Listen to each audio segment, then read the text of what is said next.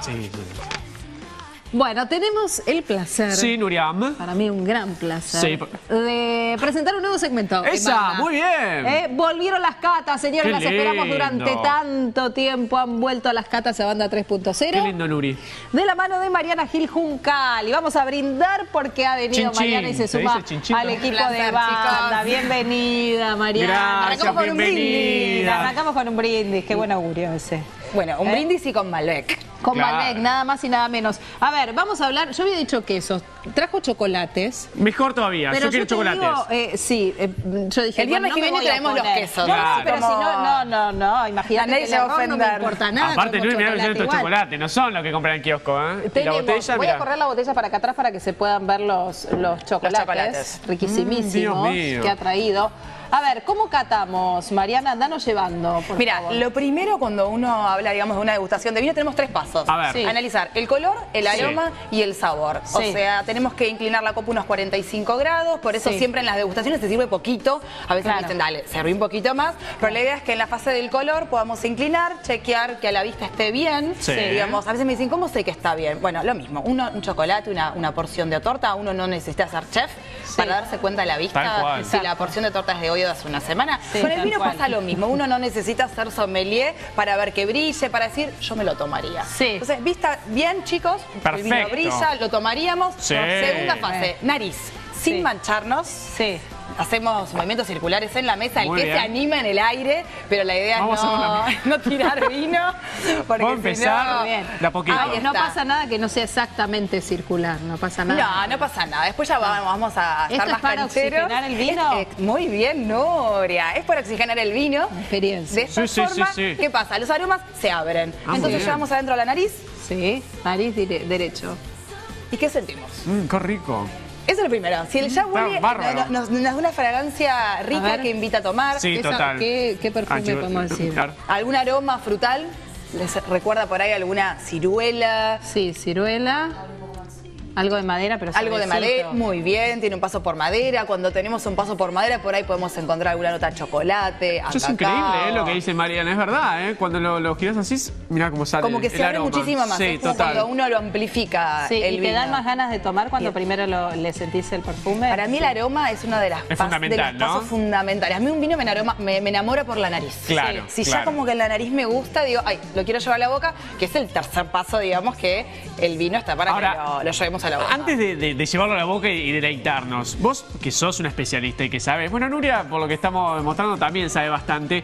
¿Sabés cómo eh, identificar cada uno de los, de, los, de los olores que tiene? Digamos, yo te pongo este vino ahora, te identificas de una manera. Ahora te pongo otro, eh, identificás qué cosa tiene cada uno de Mira, los vinos. técnicamente eh, en el vino podemos encontrar más de 500 aromas. O sea, es como un abanico enorme. Hay aromas primarios, los de la uva, aromas secundarios, Sí. los que se suman en la elaboración, aromas terciarios, los de la guarda, como decía Nuria, estos aromas de la barrica. Sí. Y en realidad es entrenamiento, es como memoria sensorial. Quiere Ajá. decir, si yo por ejemplo ahora te digo, vamos a encontrar un aroma a arándano, Sí. un aroma a grosella, un aroma a veces a regaliz, que a veces a los sommeliers nos dice, ustedes sacan una guitarra, empiezan a hablar de unos aromas. Pero uno se y los cree, ¿viste? realidad- Dice, che, qué bueno, tiene razón, que, tiene que en realidad es razón. entrenamiento, como uno tiene, digamos, un entrenamiento bastante arduo, que es Sí. comer y beber Sí. un montón, pero registrando, eh, si uno prueba un montón de cosas, va guardando en la memoria esos Claro. recuerdos y puede en el momento de la cata encontrrarlo. Ahora, Ah, Mariana, ¿por qué? Porque muchas veces eh, algunos llegan a una cata y preguntan, ¿pero qué? ¿Tiene arándanos? ¿Tiene Muy frambuesa? buena pregunta, ¿Tiene? Nuria. No le agregamos tiene. nada, no tiene ¿Y nada. por qué toman esos perfumes? comparten a nivel molecular, eh, digamos, justamente moléculas. Quiere decir, por ejemplo, en este caso tenemos un Malbec, la variedad clásica nacional argentina, por eso quería esto de sabores patrios, Sí. Malbec, adelantándonos Muy al 9 de julio, con chocolates rellenos con dulce de leche, clásico argentino, Ay, cómo la y queremos, con, María. digamos, frutos rojos patagónicos. Y, y como te decía, eh, el Malbec huele, por ejemplo, a ciruela. ¿Quiere Sí. decir que le agregamos ciruela a la elaboración? No. No. No, quiere decir que el Malbec comparte moléculas con la ciruela y como Sí. nosotros conocemos de antemano la ciruela, el Malbec cuando lo leemos y reconocemos Nos esa remite a fruta, nos remite a la ciruela. Como a veces digo en, la- en las charlas de vino, si nuestra mamá nos hubiera dado en la mamadera eh, Malbec y después probamos la ciruela, problemas. ¿qué pasaría? Cuando probamos la ciruela nos hace acordar al Malbec. Al Como el primer registro que mirá tenemos es la ciruela, interesante suerte al revés. por suerte es al revés. Menos no, mal, tendríamos Si alguno prueba ciruela niños borrachos. "Mm, Qué gusto a Malbec, bueno. Tremendo. no, Pero bueno, en realidad el, el- el recuerdo que primero registramos es el que nos remite a la copa. Claro. Quienes tienen más recuerdos, en la copa van a encontrar más,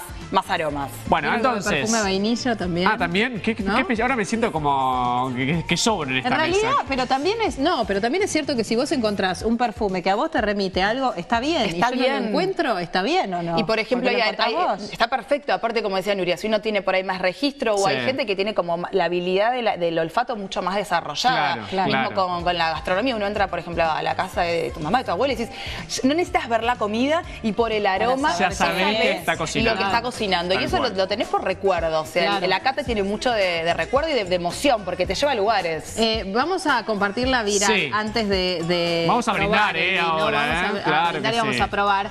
Pero uno tiene que tener, viste que mucha gente come algo primero porque dice para que no me Sí, caiga mal. claro, La boca claro. tiene que estar limpia para saborear el vino bien. aunque no parezca, este horario, Nuria, a la, a la mañana es el horario ideal para catar vino. Por eso- no digo por eso para viniste, tomar por eso vino, viniste, eso. para claro, catar claro. vino, porque tenemos la, digamos, justamente el paladar limpio. Lo ideal es si uno va a una cata, por ahí no tomar café Claro. eh, a la mañana, pero si tenemos el paladar muy limpio, así que si uno se levanta y puede arrancar a degustar, y en el caso de lo normal, digamos, que uno por ahí bebe más a la noche, Sí. eh, justamente por ahí un poco de agua, un queso neutro, pan neutro, para la cata. Yo sé que cuando Bien. hablamos ya de disfrutar el vino, uno hace maridajes, que vamos a hacer un montón, Ay, con un montón de sabores, que justamente no son nada Qué entusiasmados eh, con esta nueva sección, pero vamos a repasar obviamente la viral que tiene también, porque seguramente habrán brindado ellos, ¿no? Sí, no sé, de esta- después de lo que le pasó al pobre señor. Vos no sé fíjate si que sí, Nurita. Mirá, a ver. vamos a ver, eh, propuesta de casamiento en los Estados Unidos, en el estado de. Connecticut.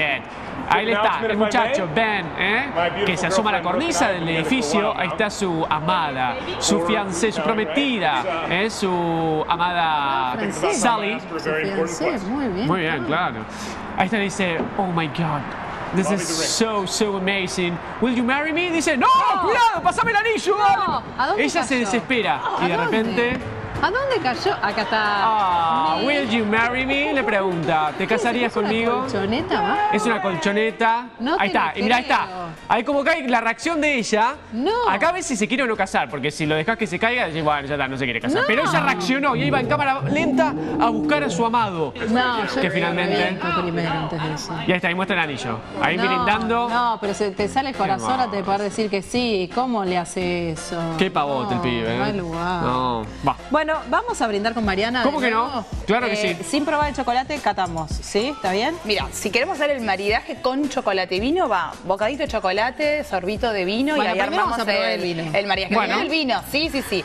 Siempre el vino primero para saber si nos gusta. Tommy Ok, primero. ¿cómo hacemos? A ver, ¿es así? ¿Un sorbito? Pues muchos se... A ver. Yo voy a hacer algo técnico Sí, que eso no lo repitan en los restaurantes, pues los van a echar. Pero es ¿Escupir? sorbito. No. No. escupir no, porque. Yo también iba a preguntar eso, por eso. No, no, no. Escupir se escupe, pero justamente llevar un sorbito a la boca, hacer una especie de, de buchecito para que nos inunde todo el paladar.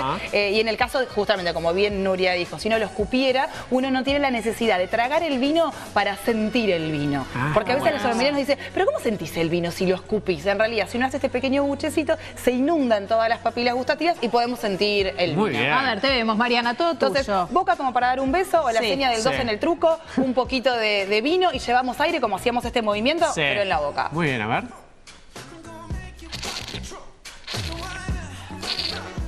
Ah, muy bien. Y ahora, bueno, lo tragué. Si no, lo escupo. ¿Y ahí qué pasa?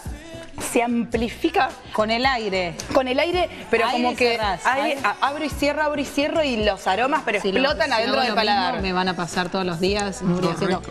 No, no, no, no. Yo siempre digo, Solamente la esto, no lo hagan en los restaurantes porque van a empezar a hacer esto, van a decir, no, lo vi en la tele, Mariana lo dijo, y van a quedar muy mal. Esto en una cata, en la cata hacemos un montón de cosas Ahí se puede, ahí se puede, está permitido ahí, Exactamente. claro. Qué rico. De hecho, uno Está va a comer afuera y ¿no? nos escupe el vino eh, rico, y lo, lo tomas justamente. Está riquísimo. Muy este bueno. vino es un. Malbec 2015 de la edición 25 años de Baco Club y antes de salir al aire los chicos decían, wow, una botella muy grande. Es la, la botella Magnum que tiene un litro y medio. O sea, serían dos botellas en, En una. En una.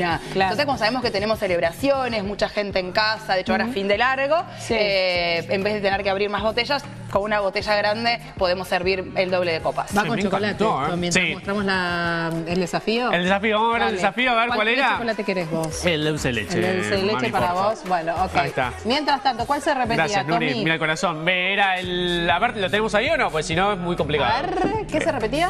¿Se repetía alguno o no? Ahí viene, viene, viene, ¿Sí viene, viene, no? viene. A ver. No importa. Era el, el cuarto, ¿eh? ahí está. Era el, Ese. digamos, el quinto de la cuarta fila, ¿lo ves? Sí, obvio. Y el sexto de la tercera. Así eran iguales, ¿cómo no nos dimos cuenta? Bueno, con el chocolate y el vino nos vamos a ir hasta la semana que viene. Buen fin de semana. Vamos, Marian. de disfrutar el fin Sí, de semana claro. largo. Háganlo, nosotros nos encontramos 9 de julio. Gracias, Mariana. Muchas gracias a ustedes, chicas.